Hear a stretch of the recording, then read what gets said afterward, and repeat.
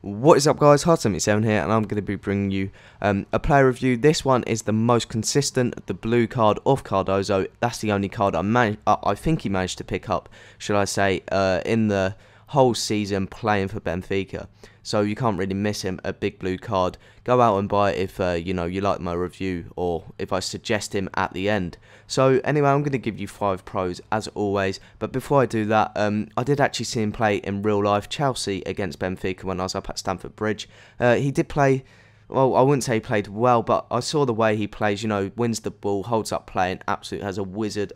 You know, off a left foot. He's sort of like Van Persie in that sense. His left foot is really good for him.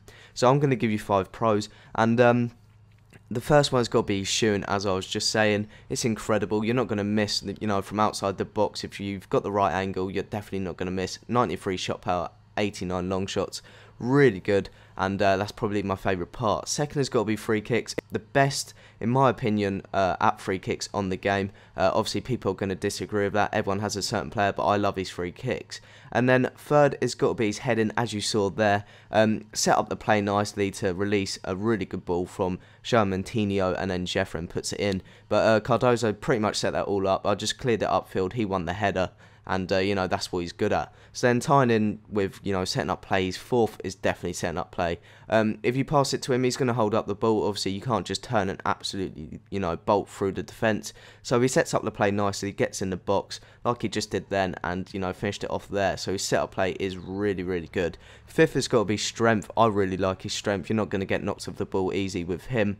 Uh, occasionally, you know, when you come up the likes of David Luiz, who is overpowered, as we all know on the game, um, he he was trying to knock him off the ball, but he was sort of, you know, just throwing David Luiz on the floor at times, which is uh, really good. And then, uh, so I'm going to give you a quick disadvantage with him, and something I really, really don't like. I never thought I would say this, but pace.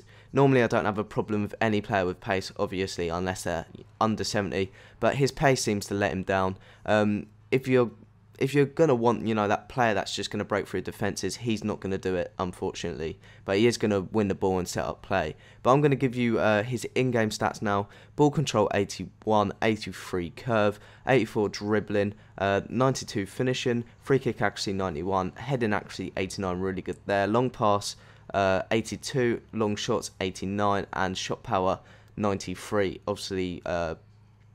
His volleys at 86 as well. But as I was going to say, penalties at 89, so he's obviously good at the set pieces.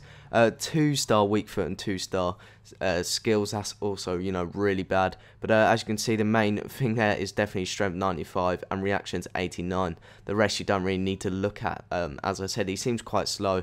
And agility, I've got to say, seems better than 76. But as I was saying, uh, in the penalty box, he is really good. 85 attack positioning.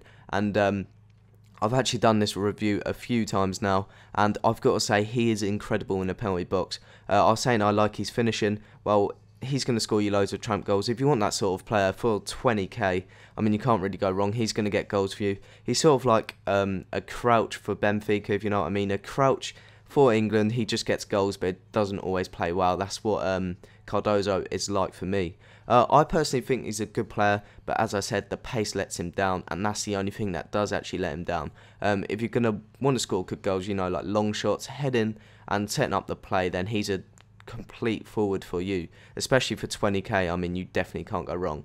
Um, but I'm actually going to sell him now and try out a few other people. Um, people in his price range are the likes of Lambert.